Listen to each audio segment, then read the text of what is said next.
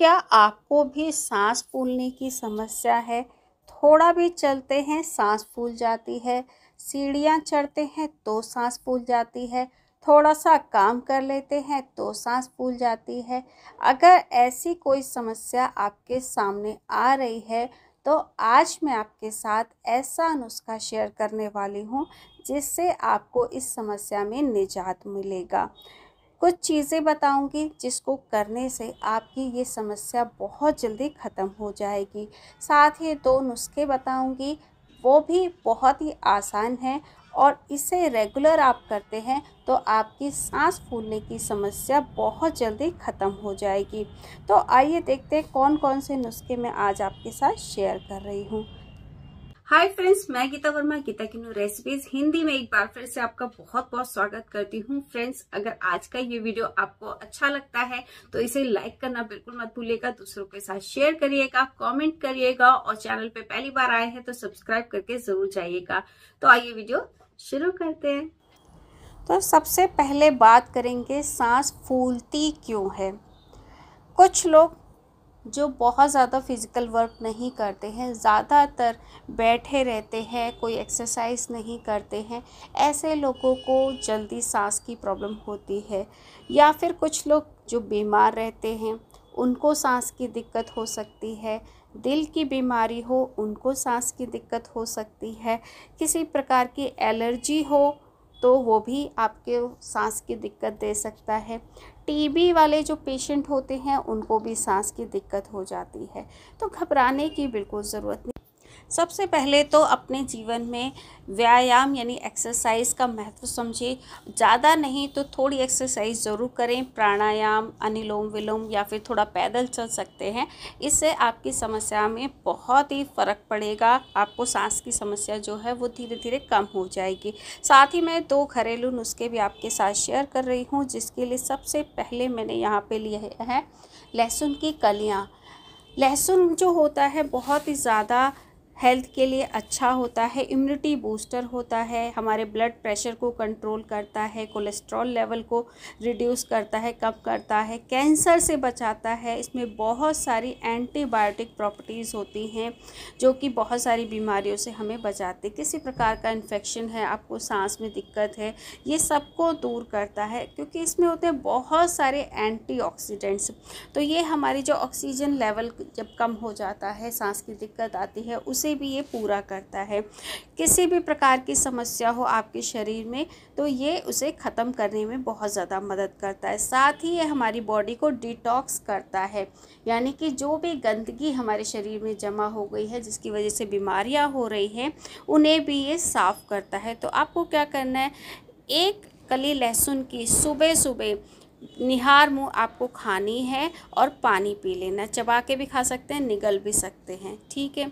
अब अगला जो नुस्खा है, उसके लिए मैंने यहाँ पे तुलसी के पत्ते लिए हैं। तुलसी को क्वीन ऑफ़ हर्ब्स भी बोला जाता है। सभी जानते हैं इसकी पूजा होती है और हेल्थ के लिए बहुत सारे बेनिफिट्स हैं इसके। तो मैं कुछ बेनिफिट्स आपको बता देती हूँ। ये एक नेचुरल इम्यूनिटी बूस्टर होता है। बुखार से आपको निजात दिलाता है। खांसी जुकाम के लिए तो सभी जानते हैं कि काढ़े वगैरह में हम इस्तेमाल करते हैं, उससे भी ये निजात दिलाता है। सांस की कोई भी दिक्कत हो, उसे दूर करने में ये बहुत ज़्यादा मदद करता है। कैंसर से बचाती है तुलसी, हार्ट की प्रॉब्लम है, उसे भी दूर करती है। डायबिटीज़ वालों के लिए बहुत ही अच्छी होती है, साथ ही पथरी वालों के लिए भी बहुत अच्छी होती है। तो यहाँ पे मैंने कुछ तुलसी के पत्ते तोड़ लिए हैं। सबसे पहले इसे क्या करते हैं, बहुत लोग पौधे में से तोड़ा और चबा के खा गए, ऐसा नहीं करना है। पत्ते तोड़ लीजिए, इसे अच्छे से धोना है दो से तीन बार अच्छे से धोइएगा क्योंकि इसमें बहुत सारी मिट्टी होती है बहुत सारी आ, इसमें केमिकल भी हो सकते हैं पेस्टिसाइड वगैरह भी हो सकते हैं तो कभी भी इसे डायरेक्ट यूज़ ना करें। अच्छे से दो से तीन बार धो लें और सुबह सुबह आपको क्या करना है चार से पाँच पत्तियाँ अगर आप ऐसे खा सकते हैं निगल सकते हैं इसे तो निगल लीजिए क्योंकि तुलसी को चबाते नहीं हैं। या फिर जैसे मैं बता रही हूँ, वैसे कर सकते हैं। निहार मुँह इसे खाना है और आपको इससे बहुत सारे बेनिफिट्स मिलेंगे, बहुत सारी बीमारियों से आप बचे रहेंगे और जो सांस की दिक्कत आ रही है, वो तो बहुत जल्दी ख़त्म हो जाएगी। ऐसे हल्का हल्का सा इसे कूट लीजिए, जैसे मैं कूट रही हूँ तुलसी के पत्तों को। चार से पाँच पत्ते हल्के हल्के कूट लीजिए। कूटने के बाद इसे इस्तेमाल कैसे करना है, वो भी मैं आपको बताती हूँ। तो इसका हमें जूस वगैरह कुछ नहीं निकालना है। फ्रेश पत्तियाँ लीजिए और इस तरह से क्रश कर लीजिए। यहाँ पे देखिए मैंने इसका क्रश कर लिया है और बहुत ज़्यादा बारीक नहीं किया है। हल्का हल्का सा मोटा इसे रखा है। हम क्या करेंगे, एक चम्मच लेंगे और ये सारी जो कुटी हुई पत्तियाँ हैं वो इसके अंदर डाल देंगे। इसमें से आप देख रहे हैं कोई जूस वगैरह नहीं निकला है और ना हमें जूस की ज़रूरत है। इसे हम डायरेक्ट लेने वाले हैं नुस्खा बना के कैसे लेना है वो मैं आपको बताती हूँ। ये मैंने पत्तियाँ डाल ली इसके अंदर। अब दूसरी चीज़ जो मैं यहाँ पे इस्तेमाल करने वाली हूँ, वो भी बहुत ही काम की है, वो है शहद। शहद भी आप जानते हैं, खांसी जुकाम के लिए बहुत ही अच्छी मानी जाती है। कोई भी रेस्पिरेटरी प्रॉब्लम हो, सांस से रिलेटेड प्रॉब्लम हो, वो भी ये दूर करती है।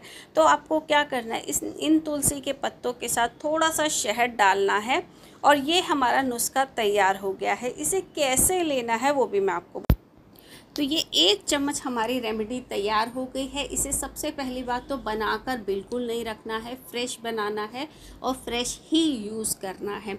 जब आप सुबह उठते हैं फ्रेश होने के बाद आपको ये तुलसी के पत्ते इस तरह से कूट लेने हैं, शहद मिला लेना है और इसे एक चम्मच ले लेना है, इसे चबा चबा के आप खा लीजिए, ठीक है?